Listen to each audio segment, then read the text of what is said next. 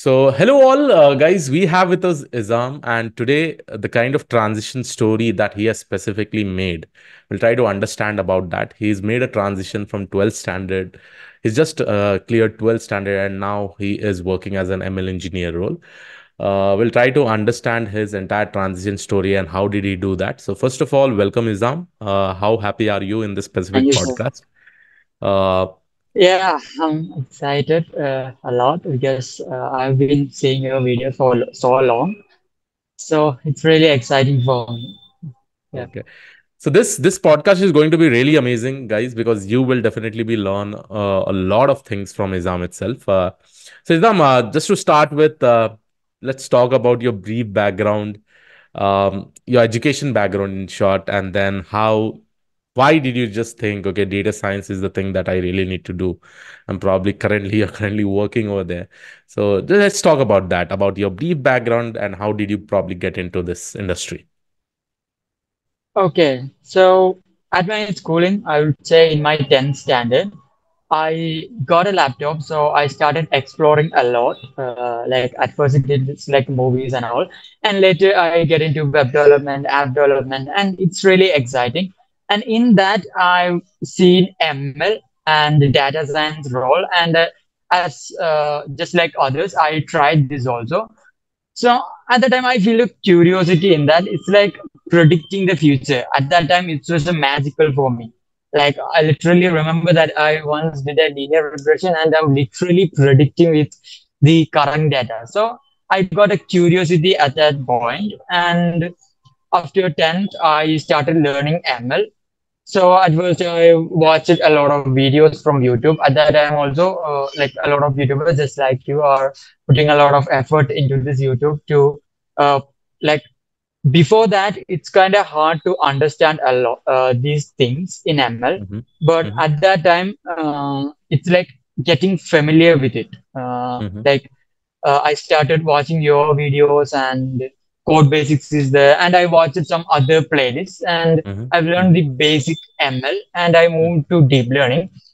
But at that time, I found a difficulty to understand the thing in deep learning. But later on, I started exploring more, and within this two year, I started looking into deep learning. And in these days, most things that I'm working on is in LLM and generative AI things.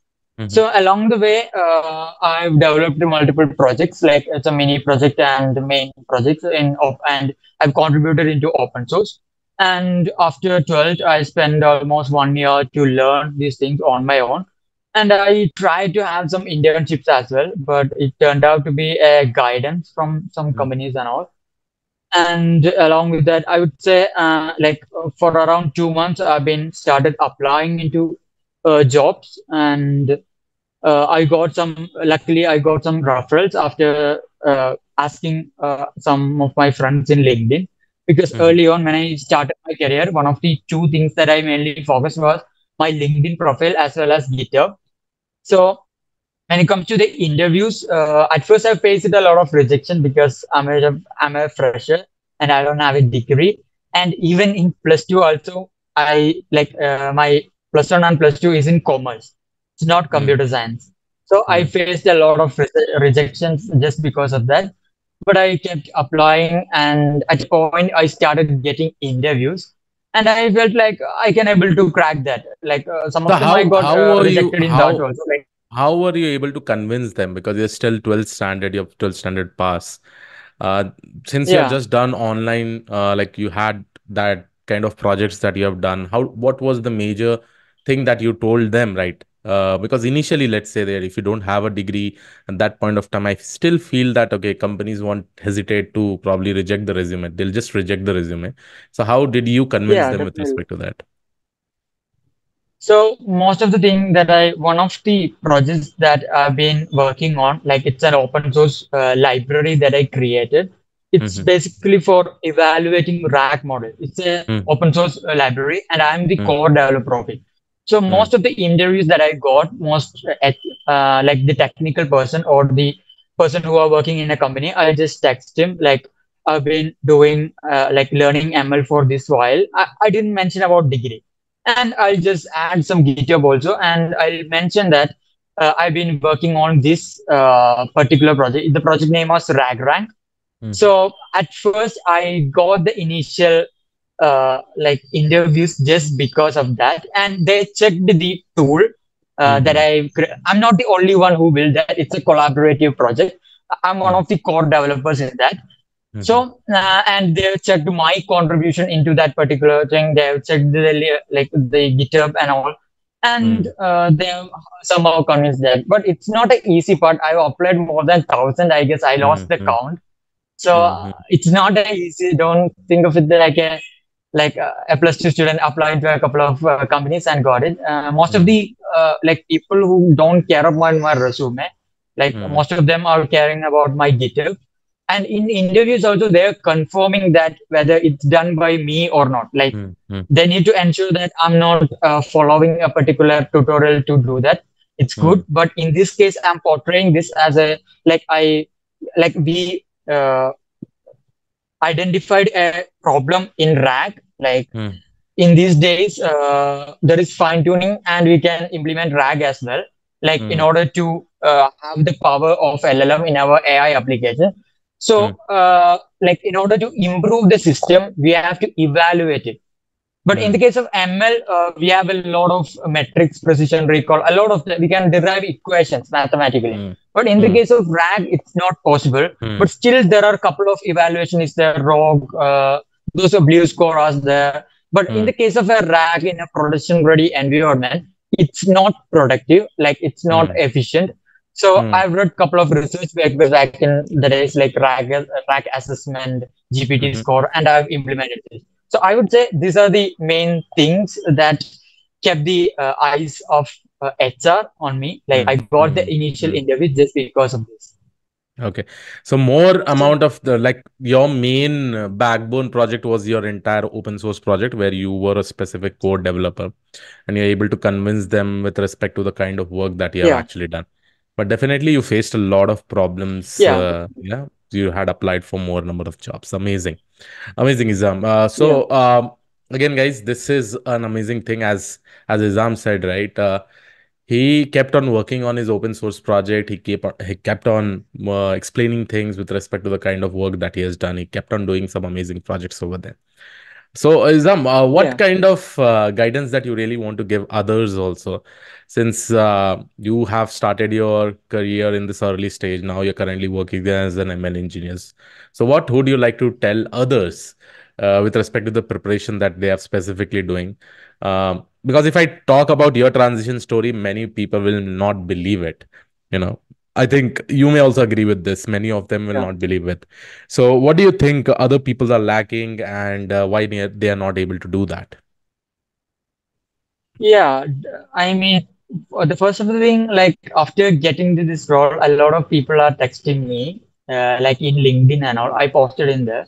So people are thinking like after watching a couple of videos, we can enter into like literally they're thinking after my schooling, I watched a couple of videos and I got Mm. into the interview. It's not like that. Mm, in mm, if you are targeting a job it's a long journey. Like i, I took more than two ye- year to get into the position where i'm in.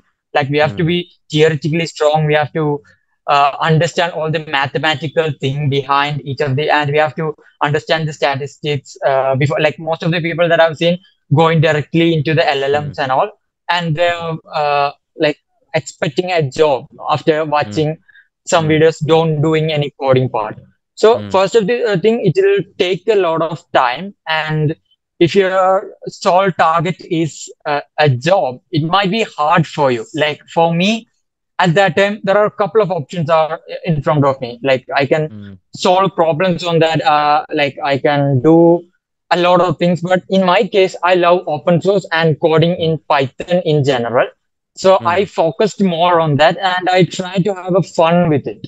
So it's a two-year journey, and it's I'm not going to get a job uh, until and unless I have a specific skill set.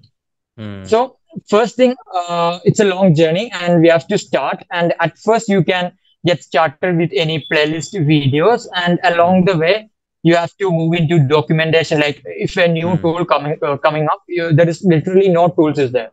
mm, And uh, in data science specifically, each role have its own thing to, that we have to work in. If I'm targeting data analysis, it's a Mm, separate journey. Like we mm, have to have the fundamentals right in the ML, mm, but if I'm focusing on a specific thing, we have to work on it. Like for me, I didn't apply any single data engineering role, data analyst. I didn't mm. apply because I don't Your think my target was SQL completely querying different.